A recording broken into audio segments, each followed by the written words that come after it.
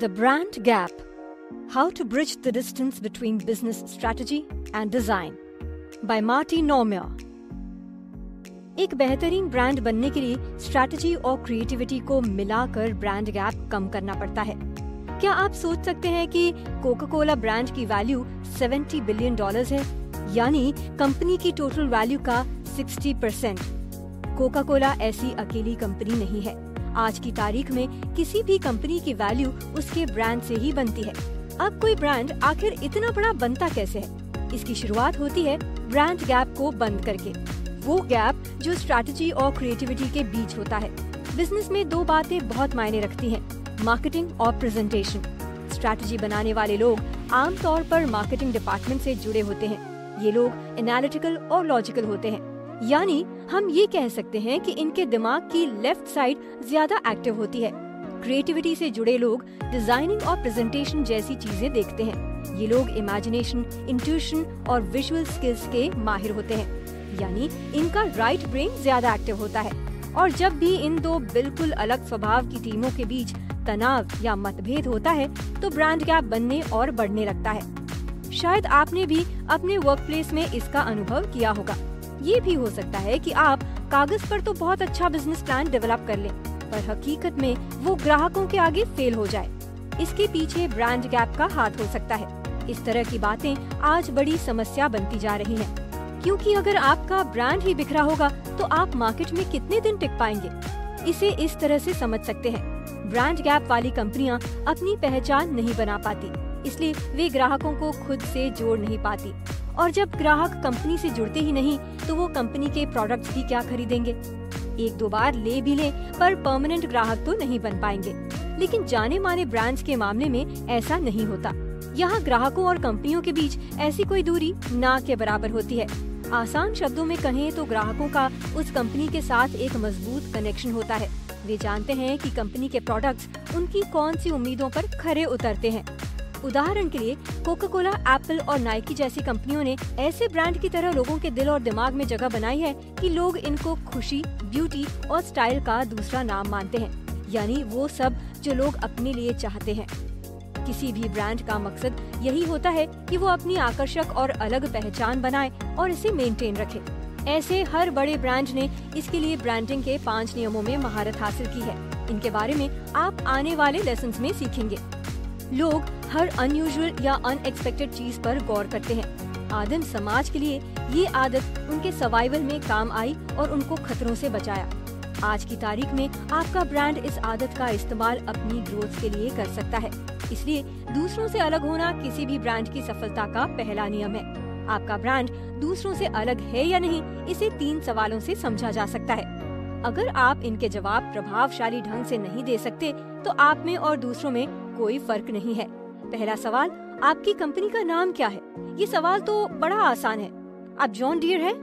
यानी आपकी कंपनी का नाम है जॉन डियर। अगला सवाल, आपकी कंपनी क्या करती है? हमारी कंपनी ट्रैक्टर और इसके पार्ट्स बनाती है। तीसरा सवाल, आपके प्रोडक्ट्स आपके जैसी बाकी कंपनियों से क्यों अलग हैं? अब ये हुआ मुश्किल सवाल। अगर आप इसके जवाब में ये बोल दें कि हम अच्छे ट्रैक्टर बनाते हैं या बहुत काम आने वाली चीज़ें बनाते हैं तो इसका मतलब हुआ आपका खेल खत्म। यानी ये जवाब यूजलेस है। क्योंकि हर कंपनी अच्छे और काम के प्रोडक्ट्स बनाती है। अगर आप ये बोलते हैं कि आपके प्रोडक्ट्स इन सबसे अच्छे हैं तो फिर से ये यूजलेस जवाब है। क्योंकि सब यही बोलते हैं। इसका कोई अच्छा और वजनदार जवाब ढूँढने के लिए जॉन डेर के उदाहरण पर वापस चलते हैं। इनका कहना है कि ये ऐसे प्रोडक्ट्स बनाते हैं जिन पर किसान पीढ़ियों से भरोसा जता रहे हैं। यानी जॉन डियर के तीनों जवाब बड़े सरल हैं, पर एक दूसरे को कॉम्प्लीमेंट करते हैं। ये जवाब दूसरों से अलग होने के उस बड़े रास्ते की तरफ़ ले जाता है, जो है फोकस्ड रहना। ऐसा ब्रांड अपनी ताकत जानता है। इसे पता होता है कि ये दूसरों से अलग क्यों है और लोगों के दिलों पर क्यों छाया हुआ है। अगर जॉन डियर आगे चलकर घर बेचने लगे तो ये भी बाकी रियल एस्टेट कंपनियों की तरह होगी और अपनी खासियत खो देगी। कुछ लोगों का सोचना ये होता है कि फोकस्ड होने का मतलब है बस एक ही चीज़ पर ध्यान लगा देना, यानी अपने आप को बाँध देना।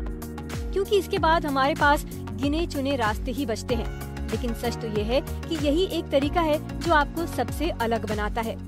वॉल्वो का उदाहरण लीजिए। इस ब्रांड की खासियत ये थी कि उनकी कारें मज़बूत थी और मार्केट की बाकी कारों से ज़्यादा सेफ़ थी। यही उनकी पहचान थी। इसके बावजूद उन्होंने हल्की और फैशनेबल कारें डिज़ाइन की, जो काफ़ी ज़्यादा अनसेफ थी। उनके ब्रांड को इसका नुकसान उठाना पड़ा। जब आपने ब्रांड को बनाने में इतनी मेहनत की हो तो अपना एक्स फैक्टर छोड़ने का क्या मतलब बनता है? अगर आपका ब्रांड दूसरों से अलग नहीं है तो फिर ये कुछ भी नहीं है। यानी आप जो हैं, वो बने रहिए। अपना रास्ता और मूल स्वभाव मत बदलिए। सही कोलैबोरेशन किसी ब्रांड को बड़ा बनाने के लिए बहुत ज़रूरी है। ब्रांड डेवलप करना किसी एक इंसान के बस की बात नहीं है। इसके लिए तरह तरह की स्किल्स वाले बहुत से लोगों को साथ मिलकर काम करना पड़ता है। इसलिए कोलैबोरेशन ब्रांडिंग का दूसरा महत्वपूर्ण नियम है। आपके पास ब्रांड कोलैबोरेशन के तीन प्रमुख तरीके हैं। पहला ये कि आप किसी दूसरी कंपनी को ब्रांडिंग का काम आउटसोर्स कर सकते हैं। ये वन स्टेप शॉप की तरह ए टू जेड सोल्यूशन देती हैं। जैसे इवेंट और पियर से लेकर प्रोडक्ट डिज़ाइन और पैकेजिंग तक सब काम देखती है। ये तरीका बड़ा आसान है, लेकिन इसमें कुछ कमियाँ भी हैं। ज़रूरी नहीं है कि कोई कंपनी हर उस फ़ील्ड में एक्सपर्ट हो जिस पर आप काम कर रहे हैं। ऊपर से बाहरी लोगों को अपने ब्रांड का पूरा कंट्रोल दे देना रिस्की भी तो है। ब्रांड कोलैबोरेशन का दूसरा तरीका है कि आप किसी एजेंसी के साथ काम करें। ब्रांडिंग एजेंसी आपके ब्रांड की जरूरतों को ध्यान में रखते हुए एक्सपर्ट्स की एक टीम तैयार कर देगी। यहाँ आपकी हर ज़रूरत के लिए सही तालमेल तो बन जाएगा, पर फिर भी बाहरी हाथों में कंट्रोल देने का रिस्क तो रहेगा। तीसरा तरीका है कि आप ऐसी एक टीम खुद अपनी कंपनी में बनाएँ। ये टीम विज्ञापन brand identity product design strategy जैसी जरूरतों पर फोकस करेगी। यानी मार्केटिंग से लेकर डिज़ाइन तक के काम ये सब लोग एक सुपर टीम के रूप में एक साथ मिलकर करेंगे। लेकिन एक सुपर टीम की भी बहुत सी जरूरतें होती हैं। इसे मेंटेन करना काफ़ी महँगा भी पड़ता है। लेकिन इसका फ़ायदा ये है कि आप अपनी मर्ज़ी के मालिक होते हैं और आपका सीक्रेट कंपनी के अंदर ही रहता है। यहाँ इस बात पर ध्यान देना ज़रूरी है कि आने वाले समय में नेटवर्क ऑर्गेनाइजेशन के बढ़ते चलन के साथ कोलैबोरेशन मॉडल भी बदल सकते हैं। इसका मतलब है कि अलग अलग कंपनियाँ मिलकर ग्राहकों के लिए कोई एक प्रोडक्ट या सर्विस तैयार करते हैं। फ़िल्म इंडस्ट्री इसका सबसे अच्छा उदाहरण है। जहाँ निर्देशक, कलाकार, संगीतकार और ऐसे बहुत से एक्सपर्ट्स मिलकर एक फ़िल्म बनाते हैं। जब इस फ़िल्म का प्रोजेक्ट पूरा हो जाता है तो ये फिर अलग अलग होकर दूसरे किसी प्रोजेक्ट की तरफ़ चल देते हैं। अपने ब्रांड को दूसरों से अलग बनाने के लिए नए आइडियाज़ और नए रास्ते तलाश करें। लॉजिक किसी बात को सही साबित करने का सबसे अच्छा तरीका है। लेकिन जब बात ग्राहकों की आती है तो ज़रूरी नहीं है कि इस सवाल के जवाब में भी लॉजिक हर बार काम करे। कि आपका प्रोडक्ट सबसे अच्छा क्यों है। आपको ग्राहकों का दिल जीतना होगा, उनको लुभाना होगा।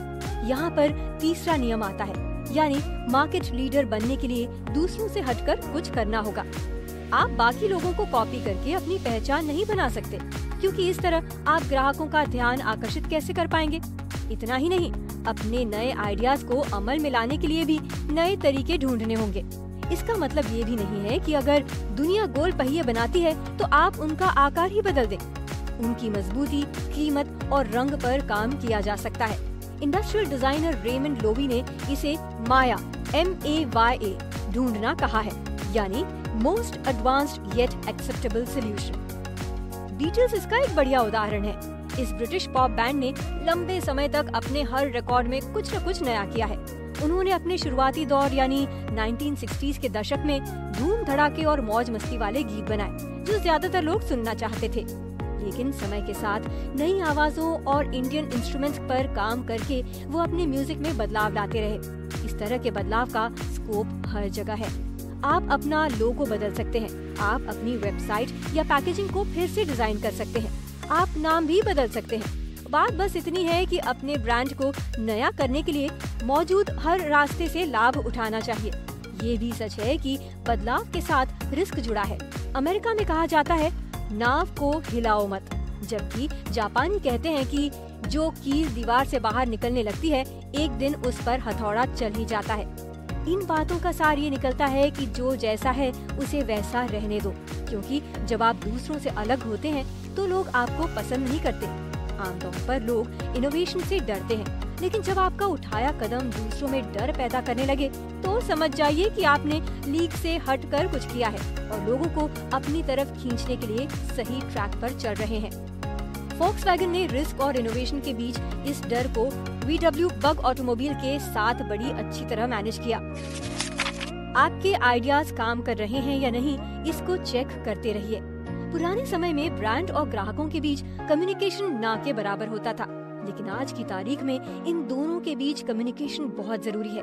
ये एक फीडबैक की तरह काम करता है। जब कंपनी अपनी बात रखती है तो जवाब में ग्राहक भी अपनी बात रखते हैं, यानी अपना रिस्पॉन्स देते हैं। इसलिए चौथा नियम, जिसे वैलिडेशन कहा जाता है, इतना महत्वपूर्ण है। आपको ये तय करना होगा कि आपके ब्रांड की आवाज़ हकीकत में दुनिया में भी गूंजे।